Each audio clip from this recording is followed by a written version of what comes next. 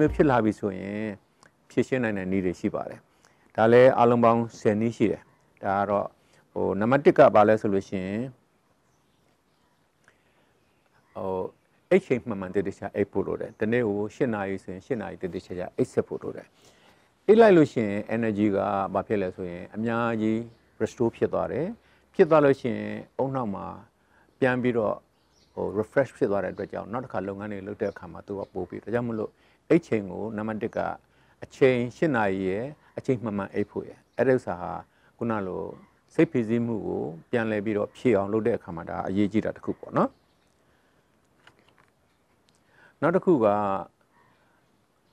ဖိအားမရှိဘူးဆိုတော့စိတ်ကူးမျိုးနဲ့ကိုယ့်ကိုယ်အမြဲတမ်းပြန်ကြည့်ဖို့လည်းလိုတယ်နော် self visualization ပေါ့ဟာဒီဥစ္စာတွေအလကားပါဒါတွေကငါ့အတွက်အရေးမကြီးဘူးဆိုတော့ အဲ့လိုကိုယ့်ကိုယ်ပြန်ပြီးတော့အားပေးတာမျိုးပေါ့နော်ဒါဒါမဖြစ်လဲငါဘာပြဿနာမရှိဘူးဆိုတာမျိုးအဲ့လိုစိတ်ကဖြစ်သွားပြီဆိုရင်ဖိစီးမှုမှမရှိတော့ဘူးဒါကိုဖြစ်နေရင်ဒါကိုကဖိစီးမှုဖြစ်တယ်။ပြန်ကိုကိုကိုပြန်ပြီးတော့စိတ်သက်သာအောင်လဲအဲ့ဒီလိုပြန်ပြီးတော့မြင်နိုင်ရမယ်။ဒါမရှိလဲငါဘာမှမဖြစ်ဘူး။ဒါကြတော့ဒါကိုလည်းငါကောင်းကောင်းလုပ်နိုင်တယ်။အဲအဲ့လိုဟာမျိုးကိုယ်စိတ်ကိုကိုပြင်လို့ရှိရင်လဲစိတ်ဖိစီးမှုကအများကြီးသက်သာပါတယ်တဲ့။နောက်တစ်ခုကကိုလက်လက်ရှာလေ့ကျင့်ခန်းလုပ်ရမယ်နော်။ အားလဲလူတိုင်းသိပါတယ်ကိုလက်လက်ရှာလေ့ကျင့်ခန်းလုပ်လိုက်ရင်ဟလာလူကပေါ်ပါသွားတယ်ချွေးတွေပါတယ်ထွက်သွားတယ်ဆိုရင်စိတ်ထဲမှာပင်ပန်းတာတွေအကုန်လုံးကဘာဖြစ်လဲဆိုရင်ညော့ကျသွားတယ်ပေါ့နော်။အခုအခုခေတ်မှာတော့မလို့ဥမာယောဂလုပ်ငန်းတွေပါဆိုအများကြီးဖြစ်လာတယ်လေအဲအဲ့ဒါမျိုးတွေလေ့ကျင့်တာမျိုးတွေပေါ့နော်ဥမာလမ်းလျှောက်တယ်စပီးစီးတယ်တငယ်ချင်းနဲ့အတူတူလမ်းလျှောက်တယ်တငယ်ချင်းနဲ့အတူတူစပီးစီးတယ်အတူတူကစားရတယ်ပေါ့အဲ့ဒါမျိုးတွေဟာစိတ်ဖိစီးမှုကိုအများကြီးသက်သာစေပါတယ်နော်နောက်တစ်ခုအသက်ရှူလေ့ကျင့်က လူတွေကနေတိုင်းအသက်ရှူနေကြတယ်ဒါပေမဲ့ကိုဖာကိုအသက်ရှူမှန်းတော့ကိုမသိကြဘူးလေအသက်ရှူရဲဆိုတာကဒီလိုလေးရှူနေတာနဲ့တိတိကျကျမှဒီကောင်းလေတန်းရတဲ့နေရာမှာအဲ့လိုရှူလိုက်တာဟာဒီထက်မှာပြည့်သွားတယ်ပြည့်သွားလို့ရှိရင်အဲ့ဒီအောက်ဆီနဲ့အတူတူအောက်ဆီဂျင်အများကြီးပါလာတယ်သမီးအဲ့ဒီအောက်ဆီဂျင်ကအများဆုံးဘယ်ကိုရောက်တယ်လဲဆိုရင်အုံနောက်ကိုရောက်စေတယ်အဲ့တော့ကိုခန္ဓာအစိတ်ပိုင်းတွေကိုလည်းရောက်တယ်အုံနောက်ကိုလည်းရောက်တဲ့အခါမှာအုံနောက်ကပို့ပြီးတော့ refresh ဖြစ်လာပြီဆိုရင်လူက ခုနဖြည့်ဆည်းမှုကဘာဖြစ်သွားလဲလိုလိုနေကြသွားအဲ့လို့ဆိုရင်အလုပ်ကိုပြန်ပြီးတော့အင်အားပြည့်ပြည့်နဲ့ပြန်လုပ်နိုင်တယ်ပေါ့နော်နောက်တစ်ခုကတော့လေ့ကျင့်ခန်းတစ်ခုကဘာခေါ်လဲဆိုလို့ရှိရင် progressive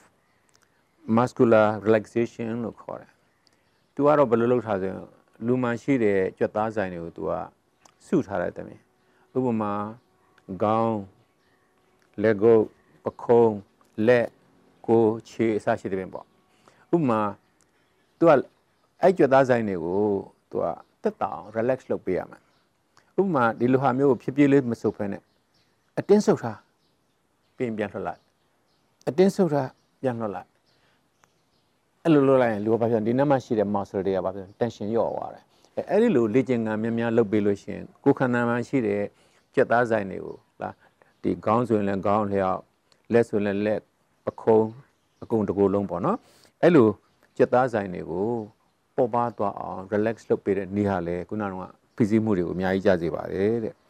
နောက်တစ်ခုကตายရတဲ့တိကိတတန်နေနှထောင်တာပေါ့နော်ဒါကလည်းကိုအနာယူတဲ့အခါမျိုးမှာဒါလည်းရေးကြည့်ပါတယ်တဲ့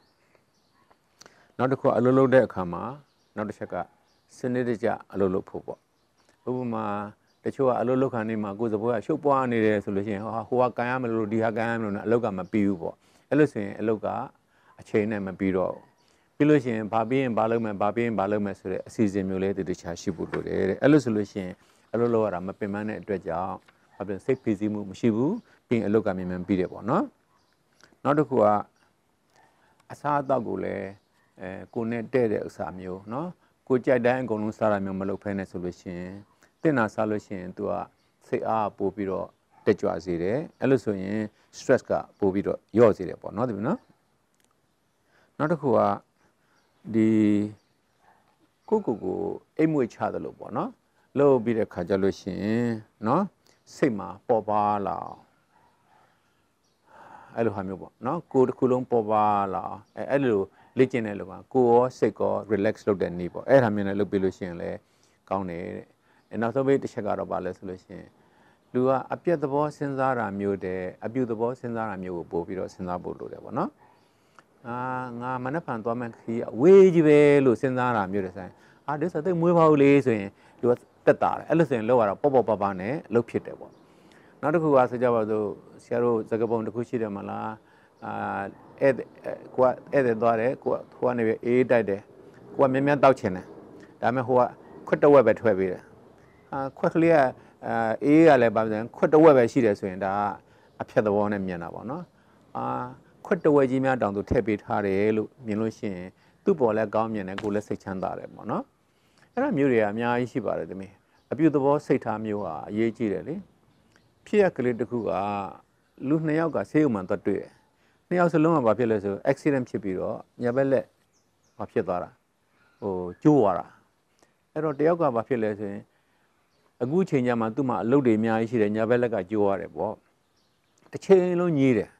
ပင်ဆေးဥမှန်တွေ့တဲ့လူတွေလည်းအကုန်လုံးလိုက်ပြီးညှိတွားပြီးပြောတဲ့ခါကျအဲ့လူကိုလူတွေကမကြိုက်ကြဘူးသူလာလို့ရှိရင်အိတ်ချင်အောင်စောင်းနေကြတာပဲလောက်ကြတယ်တယောက်ကတော့အဲ့လိုမဟုတ်ဘူးသူညာဘက်လက်ဖြစ်သွားတာဘယ်တတ်နိုင်မလို့ဖြစ်သွားပြီငါအဲ့တော့ဘာလုပ်မလဲဆိုသူဘယ်ဘက်လက်နဲ့ငါလုပ်မယ်ဆိုဘယ်ဘက်လက်နဲ့သူကြိုးစားတဲ့အခါမှာကြတော့ဘယ်ဘက်လက်နဲ့အရေးကျင့်တယ်ပြီးရင်အာဆေးရုံကလူတွေနဲ့မိတ်ဆွေဖွဲ့တယ်အဲ့တော့ဆင်းသွားတဲ့အခါကျတော့အဲ့ဒီလူကမိတ်ဆွေလည်းတိုးသွားတယ်